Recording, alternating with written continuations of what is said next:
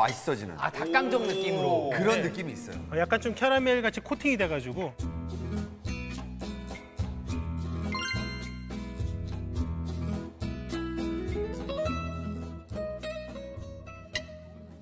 오, 진짜 특이하다.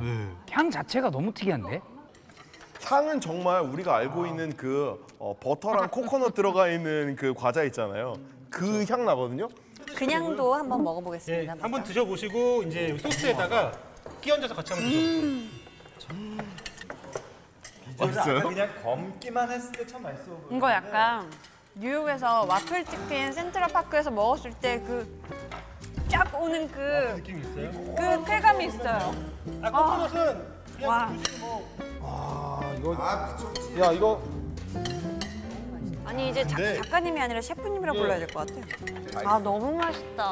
아 이거 여기다 이제 스트레스 받고 좀더 좀더 이렇게 살짝 끼얹어 드셔보세요. 아 이제 매콤한 거 한번 예, 예. 해서 먹어볼게요. 단짠 맵이 다 있어.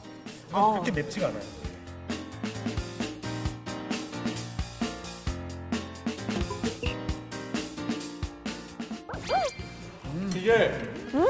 액젓 맛 같은 게 나니까 예, 액젓 맛이 살짝 나죠. 되게 매운데 한국적인 매운 맛이 뭔가 김치 먹는 느낌 아니에요? 요거랑 되게 잘 어울리죠. 요 김치 쌈발이랑. 먹는 맛이에요. 와 이거 진짜 매력적이다. 어떻게 이런 아이디어를 생각하셨어요? 이거는 아 이거지.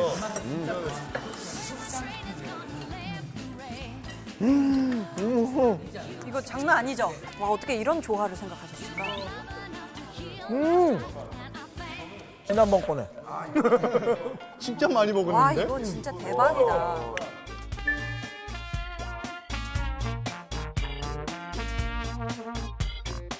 개인 취향이잖아요.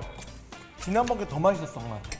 아 쌈발은? 네. 근데 지난번 것처럼 하면은 사실은 좀 접근하기가 좀 매울 것 같아요. 약간 샐러드처럼 이번에는 좀. 이 형은 계획이 다 있는 사람이에요.